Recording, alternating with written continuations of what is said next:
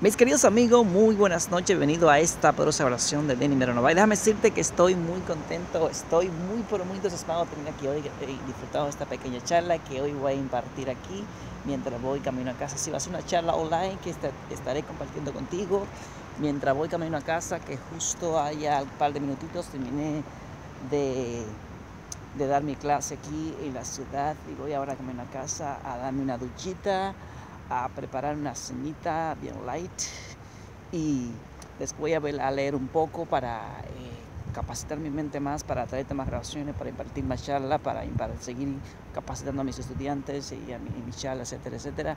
Pero eso no es el tema de esta grabación. El tema de grabación viene siendo ayudarte a ti a crecer, evolucionar como, como también Dios lo ha hecho con mi vida. Yo quiero que tú también evolución y sobre todo me cuenta sobre los, cambios que está dando para tu vida. Vayamos ahora con el paso número uno para crecer.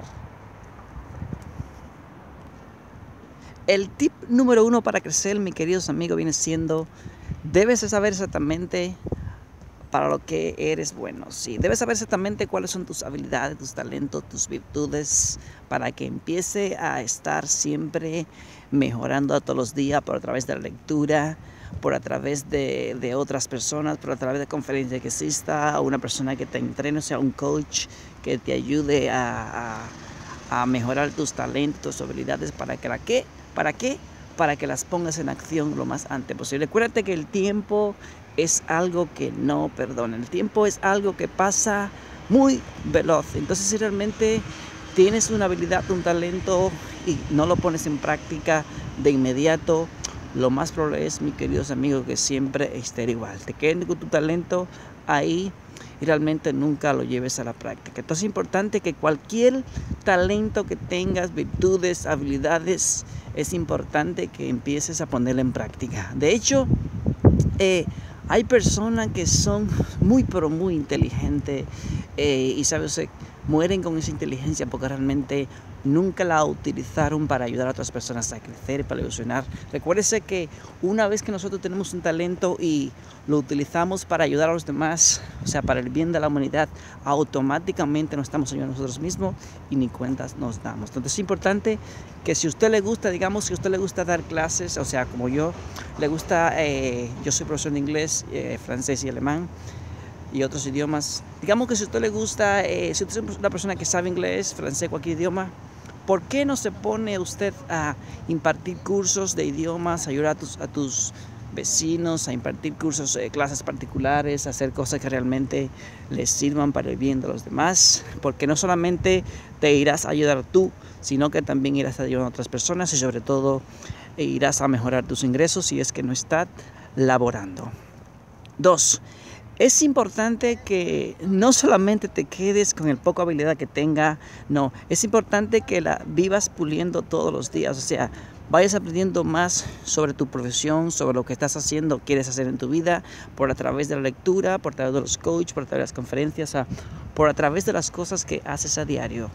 Porque realmente si no estás creciendo, seguramente que irás a estar decreciendo. O sea, o te está poniendo más inteligente o te está poniendo más... Eh, bruto, o sea, menos inteligente. Entonces es importante que siempre estés capacitado en lo físico, estético, intelectual, económico, en lo familiar, sobre todo te estés acercando a Dios cada día más. Mi queridos amigos, te mando un fuerte abrazo aquí en España. Espero que esta oración te haya ayudado. Recuérdate que esta oración va destinada a personas que realmente no encuentran sentido a su vida, a las personas que realmente tienen talento, habilidades, tienen todas esas cosas positivas realmente y siempre están en las mismas. Digo que siempre están en las mismas porque, porque aún sabiendo que tienen tanta habilidad, tanto talento, tantas virtudes, y sabes qué, lo, lo, dejan ahí, no lo utilizan y por eso realmente son pobres, porque realmente las habilidades que tienen, que tienen y, no utilizan, eso es lo que los mantiene pobres, porque la falta la falta de información dice que es la causa de los problemas, pero también tener información de más y no utilizarla también es una causa que nos lleva directamente a la depresión. Entonces, si usted no quiere caer en depresión, es importante que cualquier habilidad que tenga empiece a monetizarla. O sea, monetizar significa en términos financieros, monetizar significa que vas a hacer dinero los talentos que tienes, las virtudes, o sea, la vas a utilizar para ayudar a los demás a por una X cantidad de dinero o si es imposible empieza de, de cero, empieza ayudando a las personas, eh, tus servicios gratis, luego le va eh,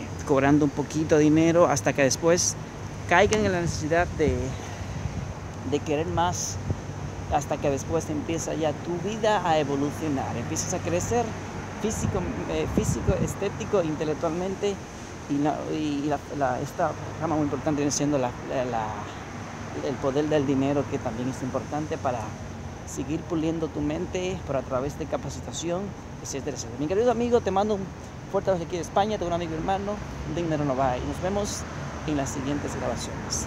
Desde aquí, de este fantástico lugar, eh, España. Gracias y por ahí nos vemos. Seguimos la rutina hacia la casa.